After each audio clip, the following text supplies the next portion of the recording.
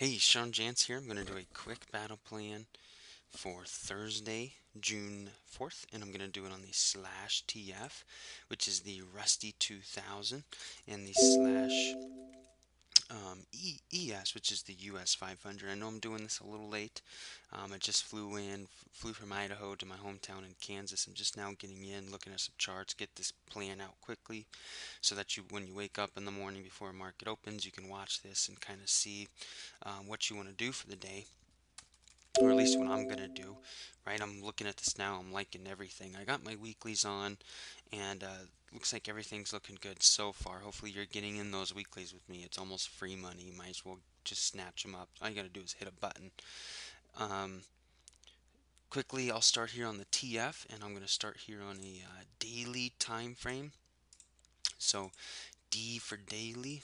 Um, so when I look at this daily, you can see that we had a this little this little uh, channel that we've been in here for the last eight days. Um, this little moving average kind. We had a nice little pop up um, for uh, on Wednesday, right? But pop ups mean good. I like pop ups. Why? Because obviously when you see this daily chart, obviously we're starting to get a little started to get a little overbought and a little overextended and so then when you move to this four hour chart this is where it really looks good so you can obviously see we had the move up right? And uh, you can see how this is getting overbought here. You can see the reversal star is already starting. And so obviously I'm already in the 1271 weekly. You can actually go grab that right now if you want to. I'm def obviously definitely not against dailies. The only issue that I'm having right now with this TF excuse me is that um, the only issue that I'm having with the TF is that uh, basically like the prices aren't very good on Nadex. So like if you go look right now, 1268 daily is worth like 20 bucks right now, which is only if you see 1262.7, that's only about five points away. I don't like that. I want to get, I want to try and, so basically if we move to our plot chart, obviously you can see this looks like it looking like it wants to start selling off tomorrow. Um, look like something you know something like that like that right? And so if we move to the plot chart on the TF you get a little better idea. Um, you can see value area high up here and so we're already hitting a 15 minute low.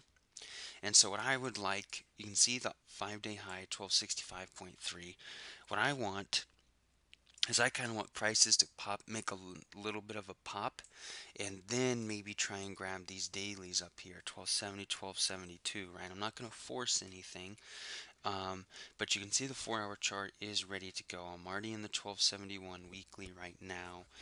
The thing is, though, if I have to cut 1271 weekly, if I have to stop loss that, Obviously, I'll just kind of move higher and grab something up here in the 1277, 1280 range. So I'm not too worried about it. That's why it's really, really great to pick good areas on the charts. As far as being a buyer tomorrow, if prices tank, hopefully if prices tank, I'm in stuff up here, right? So that's hopefully. Um, as far as being a buyer, you you do got a lot going on around that minus 0.5. You can obviously see there's a nice trading range right there too. And so there is a lot of stuff going on as, as far as it Tanksvilles. Um, you could look to be a buyer. I'm hoping that I can just get my sells on up here and then it's just a chill day to be honest. I got some stuff going on tomorrow so that's why I like I, the way that I trade because I don't have to be stuck by my computer. I can just kind of get these on. I can almost manage everything from my phone. That's kind of what I like. Um, so that's kind of my plan on the TF quickly look at the ES really quick. I'm trying to make this a little bit quicker. Um, obviously TF uh, ES kind of made a move up. It sold off going in late in, in the day. I grabbed 2134. I called that 2134.5 weekly. Um, hopefully that's going to be a winner by Friday. You could have gotten that in. You could have easily gotten in on that with me. Yesterday I sold 2125. So pretty easy. That was called in the battle plan as well. I sold 2125 daily, right? 2125. Just pick areas on the charts that you you know false, right? That's all I'm doing is I'm trying to find statements that are going to be true or false tomorrow. So yesterday I knew 2125 was a good one. Uh, it's still a good one for tomorrow, right? If we have a pop. Now, when I obviously you can kind of see this four-hour sell trigger, but there's going to be some clues as far as um, obviously if you come in now, you're coming in late, right? You can't come in on this two.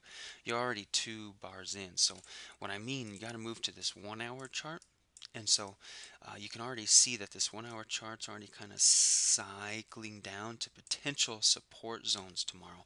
So I'm going to watch for that tomorrow. Obviously that uh, you know that 2100 area is psychological support. So i'm going to be watching that for tomorrow. So make sure that you check take a look at the one hour and the 30 minute time frame in the morning and um, potential for support tomorrow. I'm not going to force a, a buy but you can see how um, we've already making a move down. We're already down minus 0.4 0.5 overnight. And um, so you can see how much stuff we got going on in this area. Tons of stuff. So if price is kind of fuddling around here tomorrow, I'm not against dailies potentially right there in that area. Again, I don't want to force buys. I like sells more than buys. So when I buy something, I really do my due diligence, but I'm not against. Um, I really want price to kind of stay around here, maybe get a little bit of support, and I grab stuff here. So message me if you have any questions.